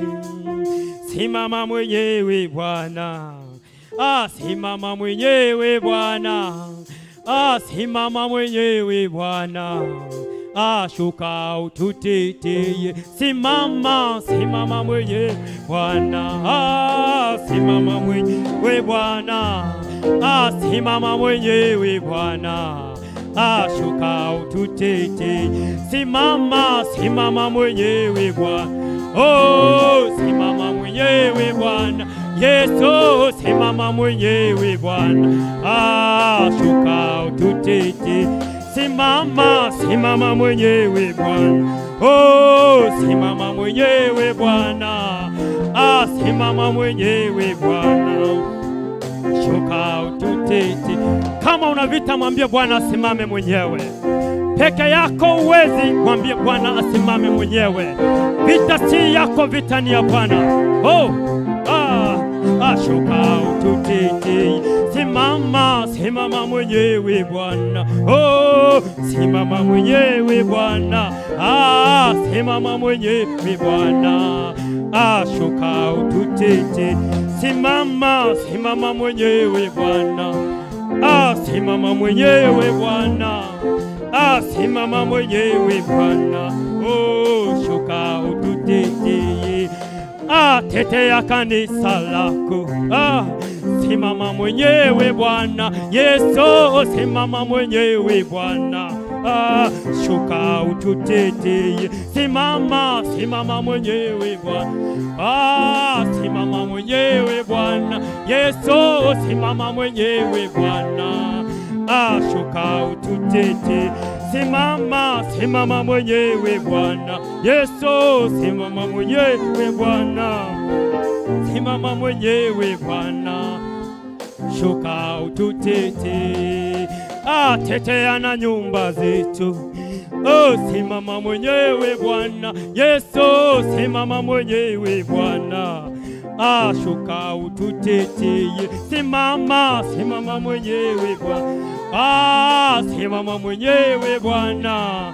Ah, simama mwenyewe Bwana. ashuka ututete. Simama, simama mwenyewe Bwana, oh, simama mwenyewe Bwana, ah, simama mwenyewe Bwana, shuka ututete, ah, tete ya taifa letu Ah, mama mwenyewe Bwana. Yesu, simama mwenyewe Bwana, ah, shuka ututeteye, simama. Mwenyewe, simama mwenyewe, simama mwenyewe Bwana, simama mwenyewe Bwana, ah, shuka ututete, simama, simama mwenyewe Bwana, simama mwenyewe Bwana, ah, simama mwenyewe Bwana, shuka ututete, eh, hakuna mwingine tena. Ila Baba wa mbinguni, hakuna mwingine tena. Ila Baba wa mbinguni, hakuna hakuna mwingine tena ah, ila Baba wa mbinguni, nasema hakuna mwingine tena ah, Baba wa mbinguni, ni hakuna mwingine tena. Ah, Baba wa mbinguni, nasema hakuna mwingine tena. Ah, Baba wa mbinguni, hakuna hakuna mwingine tena. Ah, Baba wa mbinguni, hakuna mwingine tena.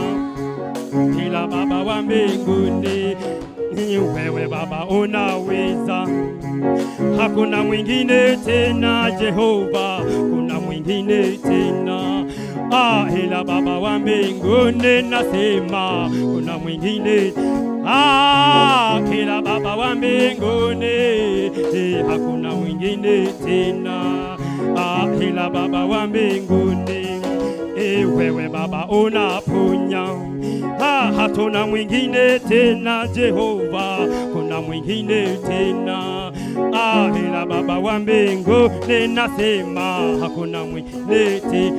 Ah, ila Baba wa mbinguni, hakuna mwingine tena ila Baba wa mbinguni, hakuna mwingine tena. Ah, kama Baba wa mbinguni, nasema hakuna mwingine tena. Ah, kama Baba wa mbinguni, hakuna mwingine tena kama Baba wa mbinguni, hakuna mwingine tena kama Baba wa mbinguni, hakuna mwingine tena kama Baba wa mbinguni, hakuna mwingine tena kama Baba wa mbinguni. Inua mikono yako juu sahihi, Hatuna Mungu mwingine tena kama Baba wa mbinguni.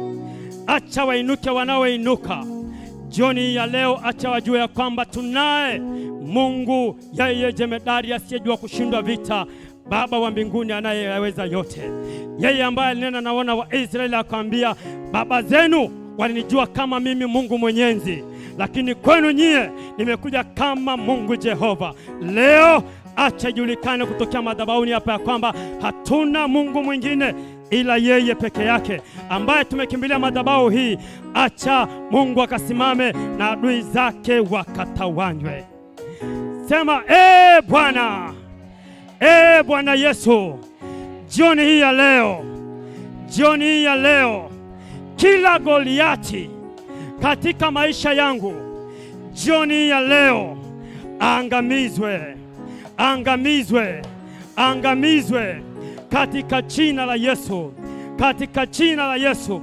Goliati yeyote, iwe ni magonjwa, iwe ni umaskini, iwe ni ufahamu wangu umeibiwa, leo kutokea madhabahuni pako, acha ijulikane ya kwamba wewe ndiwe Mungu. Goliati huyo kwa jiwe moja la kombeo Daudi alimwangusha. Leo kwa jina la Yesu, Goliati huyo kuanguka anguke, kuanguka anguke katika jina la Yesu, katika jina la Yesu, katika jina la Yesu. Nenda mbele za Mungu, angusha Goliati unayemjua katika maisha yako saa hii. Hakutakuwako na Goliati yoyote ambaye atabaki amesalia jioni ya leo, kama Mungu wa madhabahu hii yaishivyo, acha ijulikane ya kwamba wewe ndiwe Mungu. Nami ee Bwana, jioni ya leo nimesimama katika madhabahu hii chini ya mbawa za mtumishi wako mpako mafuta, na nena kutokea madhabahuni pako kila aina ya Goliati yoyote, yeye aliyekula kiapo akasema ya kwamba watoto wako hawataenda mahala, leo na iwe ukomo wake, leo na iwe ukomo wake katika jina la uweza la Yesu. Goliati yoyote, iwe ni magonjwa, iwe ni laana, leo na nena kutokea madhabahuni, Goliati huyo kuanguka anguke katika jina la uweza la Yesu Kristo, katika jina la uweza la Yesu Kristo, Goliati anguke. Baba, umesema ya kwamba wewe utamuua na si tutampiga. Leo kila Goliati aliyesimama kinyume na maisha ya watoto wako, acha leo na iwe ukomo katika jina la uweza la Yesu Kristo, katika jina la uweza la Yesu Kristo. Sema, ee Bwana, nguvu yoyote ya uovu inayosimama kinyume na maisha yangu iangamizwe katika jina la Yesu, iangamizwe katika jina la Yesu.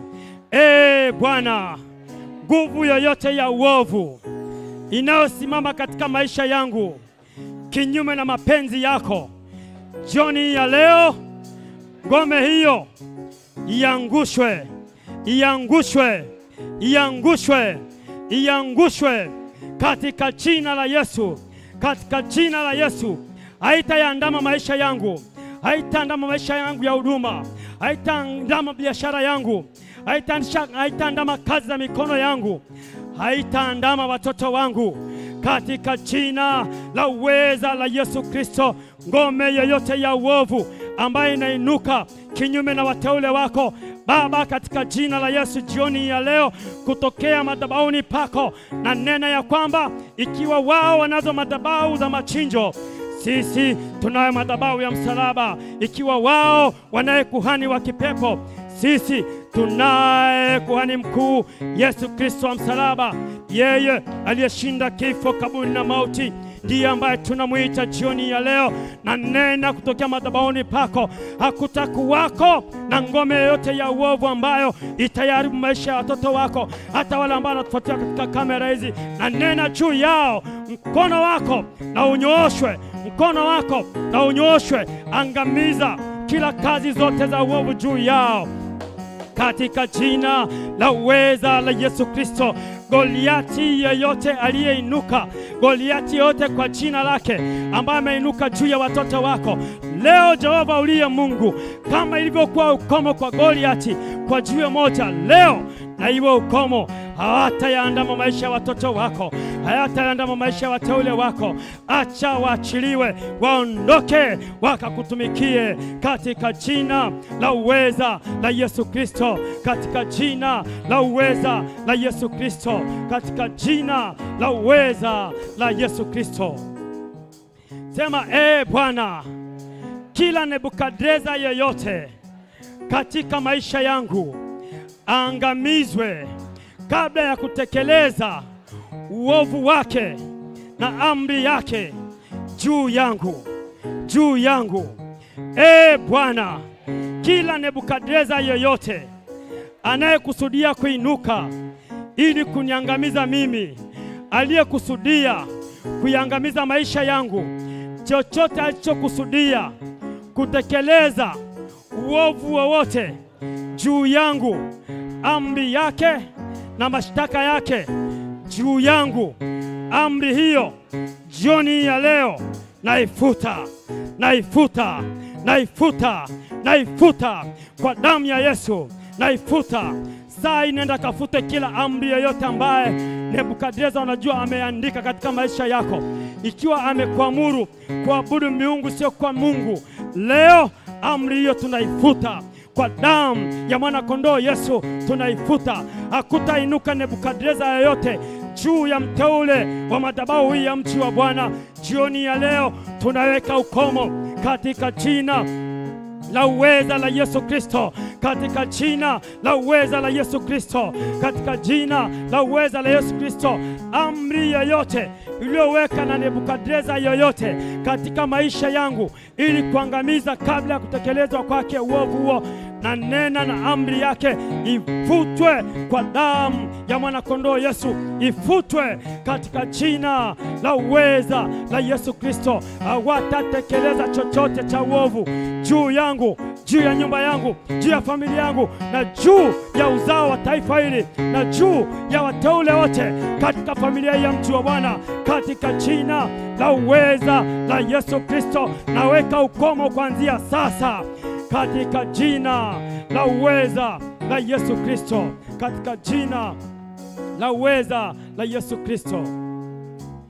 Sema ee Bwana, gereza lolote lililonishikilia jioni ya leo liniachie, liniachie, liniachie katika jina la Yesu, katika jina la Yesu. Ee Bwana, gereza lolote lililonishikilia. Kona yoyote, huyo mkuu wao anayesimamia gereza hilo, jioni hii ya leo tunamfunga kwa pingu za chuma. Wakuu wao tunawafunga kwa minyororo, hawana mamlaka ya kuinuka tena na kuendelea kututumikisha kwenye magereza yao, katika jina la Yesu, katika jina la Yesu katika jina la Yesu, gereza hilo jioni hii livunjwe, livunjwe, livunjwe katika jina la uweza la Yesu Kristo, katika jina la uweza la Yesu Kristo. Ee Bwana, acha iwe ya kwamba siri za adui walio sirini na wanaojulikana zifichuliwe katika jina la Yesu, katika jina la Yesu. E Bwana, acha iwe ya kwamba siri za adui walio sirini na wanaojulikana jioni ya leo zifichuliwe, zifichuliwe katika jina la Yesu, zifichuliwe katika jina la Yesu. Nenda mbele za Mungu saa hii, kukiwako na madhabahu yoyote au ngome yoyote au kambi yoyote ambayo wameweka sirini, wanaongea siri ili kuiteka nafsi yako leo. Chochote wanachonena sirini, iwe ni sirini au kunakojulikana, leo kambi zao na manuizo yao na mipango yao tunaiteketeza kwa damu ya Yesu. Siri zao zifichuliwe, zifichuliwe katika jina la uweza la Yesu Kristo, zifichuliwe katika jina la uweza la Yesu Kristo. Hazitaendelea kutuandama tena, hawataendelea kutuandama tena katika jina la uweza la Yesu Kristo. E Bwana, Goliati wangu ameanguka. Acha iwe ya kwamba upako wa kustawi unifunike kiroho na kimwili katika jina la Yesu, katika jina la Yesu. E Bwana, Goliati wangu ameanguka. Acha iwe ya kwamba upako wa kiroho unifunike mimi kiroho, kimwili na kiustawi katika jina la Yesu, katika jina la Yesu, katika jina la uweza la Yesu Kristo, katika jina la uweza la Yesu Kristo. Saa hii twende tukaombe kwa ajili ya taifa letu. Omba kwa ajili ya hali ambayo inaendelea sasa hivi. Mataifa mengi viuno vimetikisika, miguu imegongana, wafalme hawana majawabu, lakini sisi tunayo sababu ya kumshukuru Mungu wetu kwa sababu mfalme wa taifa hili, rais wetu, yeye tumaini lake amesema tumtumainie Mungu, pamoja na kwamba tutachukua tahadhari zote, lakini tum, tum, tumtazamie Mungu, tumtumaini yeye. Sasa tukaombe kwa ajili ya taifa hili. Isaya 64 mstari wa 8 11. Isaya sura ya 64 mstari wa 8 mpaka ule mstari wa 11. Huo ndio mstari tukaosimamia kwenye kuomba haya. Lakini Sasa e Bwana, wewe u baba yetu, sisi tu udongo, nawe u mfinyanzi wetu, sisi sote tu kazi ya mikono yako. E Bwana, usione hasira nyingi, wala usiukumbuke uovu siku zote. Tazama, angalia, twakusihi sisi sote tu watu wako. Miji yako mitakatifu imekuwa jangwa, Sayuni imekuwa jangwa, Yerusalemu umekuwa ukiwa. Nyumba yetu takatifu nzuri, walimokusifu baba zetu, imeteketea moto. Vitu vyetu vyote vyenye kupendeza vimeharibika. Acha jioni ya leo Mungu atazame na aone yale yote ambayo adui amekusudia kuyaharibu, hata zile nyumba nzuri ambazo baba zetu walitumia kumwabudu Mungu. Adui jioni amekusudia kuharibu, lakini acha jioni ya leo Mungu atazame na aone, aingilie kati, na tauni juu ya uso wa nchi ikaharibiwa yote. Baba, katika jina la Yesu tunakushukuru Mungu wetu, tunakutukuza. Asante kwa ajili ya jioni hii, e Bwana. Haya ni majira mengine ambayo Bwana yamekupendeza, nasi tumesimama mbele zako, e Mfalme Mungu mwenye nguvu zote, wewe mwenye majawabu ya yote. Nasimama mbele zako katika madhabahu hii chini ya mbawa za mtumishi wako mpako mafuta, kuhani mkuu wa madhabahu hii. E Bwana, na nena kutokea madhabahuni pako, macho yako na yafumbuke upate kuona yale ambayo adui ameinuka kwa ajili ya taifa na kwa ajili ya nchi yote. Saa hii e Bwana, kila tauni na ikawe ukomo wake sasa hali tunayopitia e Bwana, na ikakome sasa, watoto wetu wakarudi mashuleni, kazi zote zikaendelee kama kawaida. E Bwana, wewe ndiwe maji majawabu ya yote nasi tumekutazama wewe, ambaye unayo majawabu ya yote. Mataifa mengi yametikisika, viuno vimetikisika, miguu imegongana, hawana majawabu. Sisi e Bwana, macho yetu ya kutazama wewe, masikio yetu ya kusikia wewe, nasi tume tumejongea mbele zako, mioyo yetu imevunjika na kupondeka mbele zako. Sikia e Bwana, kutoka patakatifu pako sikia, nawe ukasikie na kujibu kutokea mahala pa kiti pako pa enzi. Mungu mwenye enzi, acha iwe ya kwamba kila mmoja akawe na shuhuda, nasi tumekwisha kuyaanza kuyaona yale habari ya matendo makuu ambayo Bwana unayatenda. Habari mbaya hazikusikika katika taifa la hili habari mbaya hazitasikika katika mji huu wa Bwana. E Bwana, na katika familia hii hatujasikia habari mbaya yoyote, nasi tunakushukuru, nasi tunakutukuza, nasi tunaliadhimisha jina lako takatifu, kwa maana jina lako lapita majina yote. Baba, unapoyatenda haya, acha sifa, shukurani, utukufu zibaki kwa zako wewe, Mungu mwenye enzi, na hakuna wa kugusa utukufu wako. Utukufu ni wa kwako, utukufu ni wa kwako, katika jina la uweza la Yesu Kristo. Mpe Bwana Yesu makofi mengi na vigelegele, mpe makofi mengi na vigelegele.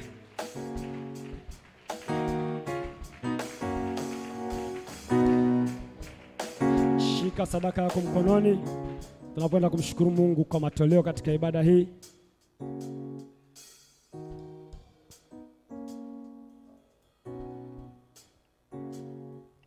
Baba, katika jina la uweza la Yesu Kristo tunakushukuru.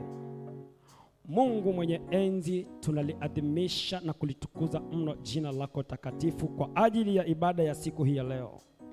Wewe umekuwa Mungu katikati yetu ndivyo ulivyonena kwamba kwetu wewe hautajulikana tena kama Mungu Mwenyezi, bali kwetu utajulikana kama Mungu Jehova, Mungu uyashikaye maagano pamoja na watu wako. Hivi ndivyo ambavyo hatukuja madhabahuni pako mikono mitupu. Baba, tumekuja na sadaka mikononi mwetu. Acha iwe ya kwamba Mungu mwenye enzi, unapozikubali sadaka hizi, tukubali na sisi e Bwana. Acha mbingu zikawe wazi kwa ajili ya kila mmoja anayeunyoosha mkono wake kugusa madhabahu yako. Mbingu hazitanyamaza kwa ajili yake. Mungu mwenye enzi, unapoyatenda haya, sifa, shukrani na utukufu zitabaki kwa zako wewe, katika jina la uweza la Yesu Kristo, katika jina la uweza la Yesu Kristo. Acha wateule wako wanapoondoka mahala hapa saa hii, wingu la utukufu wako likawafunike, e Bwana. Watakaotumia vyombo vya usafiri, uwepo wako Roho wako Mtakatifu akawaongoze. Damu ya mwana kondoo Yesu inayonena mema na ikanene mema juu yao.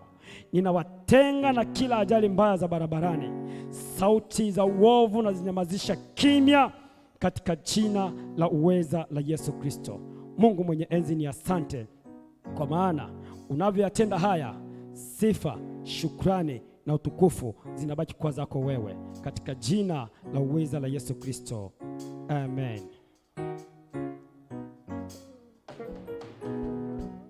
Haleluya! Mungu mwema na wabariki. Ongereni kwa ibada ya siku ya leo, niwatakie jioni na usiku ulio mwema. Mratibu, karibu. Kama una tangazo lolote, karibu mama.